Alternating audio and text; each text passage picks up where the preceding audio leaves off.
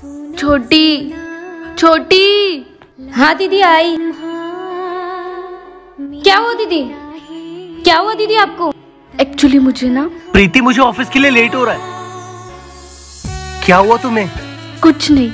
क्या आप मेरे लिए एक गिलास पानी लाओगे? हाँ ठीक है। मैं अभी लेके आया। बताओ ना दीदी क्या हुआ? मुझे ना पीरियड्स आए। क्या तुम मेरे लिए मेडिकल से पैड लेके आओगी? सॉरी दीदी मैं पैड नहीं ला सकती। मुझे एग्ज़ाम के लिए लेट हो रहा है। मैं चलती हूँ।